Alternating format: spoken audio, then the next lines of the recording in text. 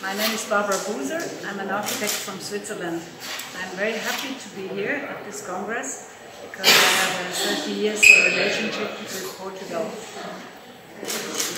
After 30 years of working with reused construction elements, trying to establish platforms and uh, stores and really doing it, I'm very happy that now many people realize how important it is. If we reuse construction elements and if we build on the existing, we can save up to 60-70% of the CO2.